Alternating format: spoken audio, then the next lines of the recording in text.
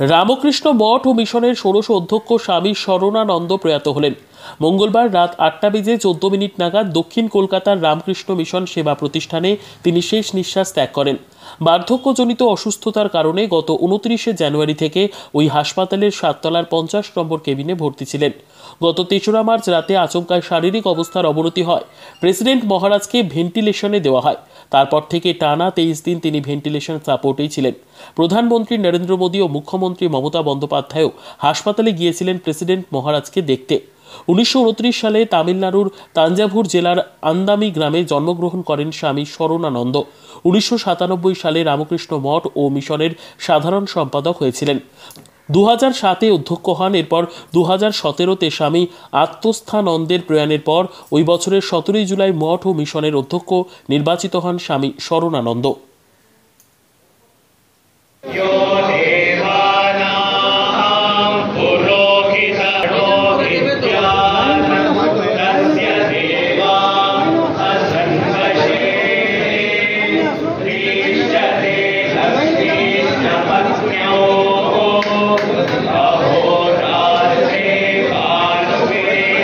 Bye, bye, bye.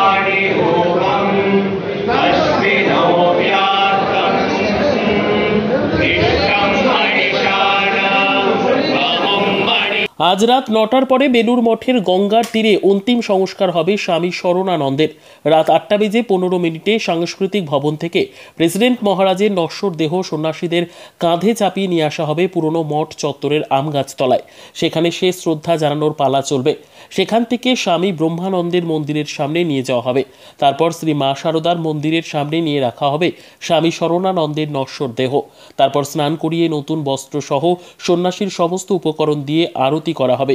তারপর স্বামী বিবেকানন্দের সমাধিস্থল ঘুরে নিয়ে যাওয়া হবে প্রেসিডেন্ট মহারাজের বাসস্থানে। কিছুক্ষণ সেখানে রাখার পর গঙ্গার তীরে শুরু হবে শেষকৃত্য দাঁড়াবে।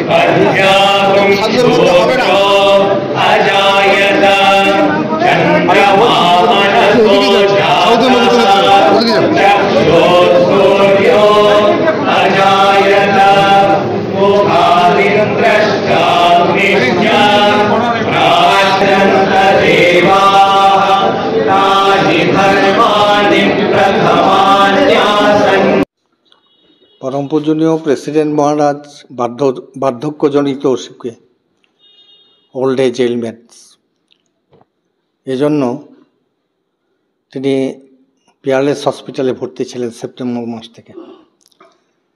মাঝখানে ওর অবস্থার উন্নতি হয় এবং ওকে নরেন্দ্রপুর রামকৃষ্ণ মিশনে রাখা ছিল। তিনি সেখানে ধীরে ধীরে সুস্থ হয়ে উঠছিলেন। কিন্তু হঠাৎ করে আবার সেটব্যাক হয়, তখন আমরা পিয়ারলেস হসপিটালে তাকে আবার ভর্তি করি। পিয়ারলেস হসপিটালে ভর্তি করার পরে একটা সময় আমাদের মনে হলো যে মহারাজকে সেবা প্রতিষ্ঠানে নিয়ে এলে ভালো, কারণ সেবা প্রতিষ্ঠান আমাদের নিজস্ব হসপিটাল এবং সেবা প্রতিষ্ঠানে মহারাজকে নিয়ে আসা হলো। তো প্রায় ছ মাস হলো মহারাজ অসুস্থ ছিলেন। শয্যাশায়ী ছিলেন।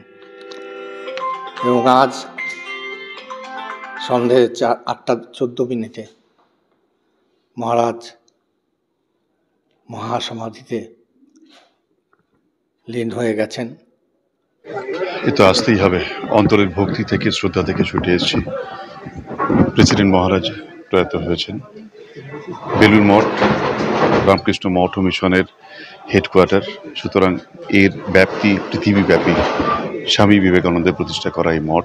তার প্রেসিডেন্ট মহারাজ দীর্ঘদিন ছিলেন জ্ঞানী মানুষ। তার ভক্তরা বিভিন্ন জায়গায় ছড়িয়ে আছে দেশের বিভিন্ন প্রান্তে এবং আজকে রাতেও ভক্ত সমাগম হয়েছে। আমরা এলাম, মহারাজকে শ্রদ্ধা নিবেদন করলাম, সে শ্রদ্ধা নিবেদন করলাম এবং মাননীয় মুখ্যমন্ত্রীও টুইট করেছেন সবসময় রামকৃষ্ণ মিশনের গুরুত্ব আমরা আমাদের ভারতে এবং পৃথিবীতে সমাজ সেবার ক্ষেত্রে, সেবামূলক কাজের ক্ষেত্রে এটা অনস্বীকার্য, কেউ অস্বীকার করতে পারবেন না। আমরাও দেখেছি যে বিভিন্ন সময় এই প্রতিষ্ঠানের যারা কর্ণধার থেকেছেন, তাদের যে ভূমিকা থাকে, সেটা সবসময়ই উল্লেখযোগ্য স্মরণযোগ্য। সেই অর্থে স্বামী শরণানন্দের এই জীবনাবসান আমাদের সকলের ক্ষেত্রে একটা ক্ষতি, সমাজের ক্ষেত্রে ক্ষতি।